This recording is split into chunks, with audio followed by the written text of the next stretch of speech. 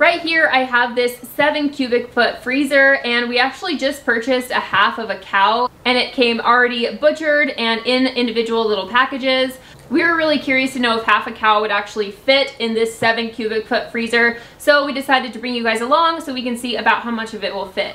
So our half cow is 220 pounds. I'm gonna go ahead and start loading it in here and I'll bring you along in that process. So just to open this up and show you what the inside of the freezer looks like, it is just really basic. I kind of like wiped it down a little bit, but it does have this little lip on the side, just for a little bit of size reference. I'm gonna go ahead and start loading the ground beef first um, down at the bottom.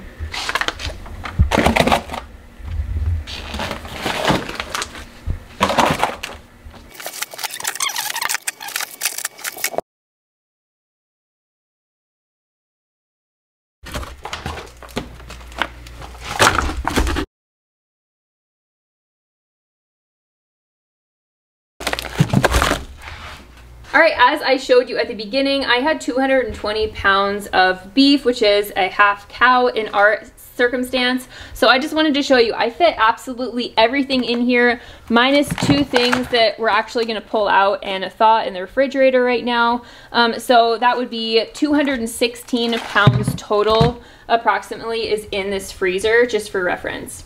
We've gotten a half a cow before and we thought that everything was somehow going to fit in a five cubic foot freezer and we had so much extra that did not fit in the freezer. So I'm really happy with the seven cubic foot size. We didn't want to go as large as a 10 cubic foot or even bigger just because space is a little bit more limited for us. But I'm really happy with this size and that it did fit almost exactly half a cow.